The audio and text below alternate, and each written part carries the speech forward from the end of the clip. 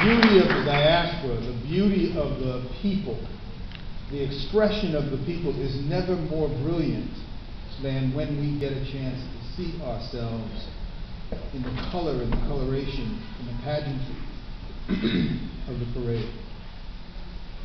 We need to have a way where that has a footprint in the development of young minds at Medgar Evers last and certainly not least, there- there is, there is a need for us to start spending some time looking forward at how do we avoid recolonization? Mm-hmm. Now, I know the last time people saw me stand up at a meeting mm-hmm. and I gave anything near a speech, about six months later, I got fired. Mm-hmm. And I'm trying not to get fired.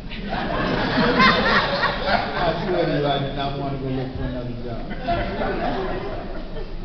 But it's important that Medgar Evers have a, a serious place in the conversation about how communities come together in Central New And that we do not do that with an eye toward them that have and them that do not have.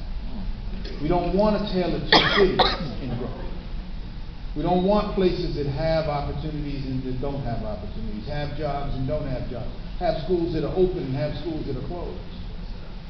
What we want is we want an opportunity for all of our young people to see that there are a set of stair steps. They are educational stair steps, but that they are hard-working stair steps that people have climbed on their behalf such that they now get an opportunity to climb them.